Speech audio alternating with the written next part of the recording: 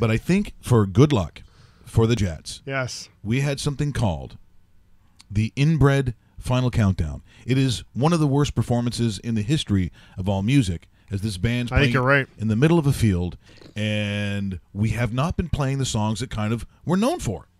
This one I've been doing since Calgary. If you haven't seen it, for the Jets and good luck to move on, I play you this. It is excellent in its own shittiness.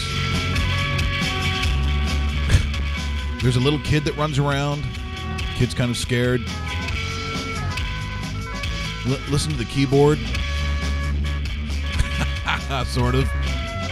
But the singing, oh, I got to tell you, the singing is outstanding. The final cow down.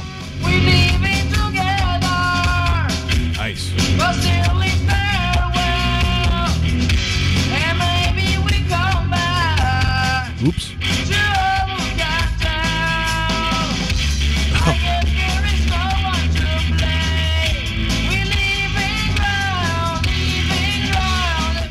He does his own background vocals twice. Dun dun. Here we go now. It's the final countdown.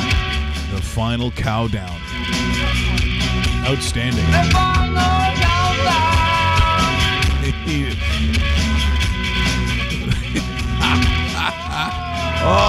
We had it from Venus, Venus, and where this land goes. Oh, drummer got a little. There you go. So once again, a gift from us to the Winnipeg Jets. Thank you. You're welcome. What? We just become best friends? Yep.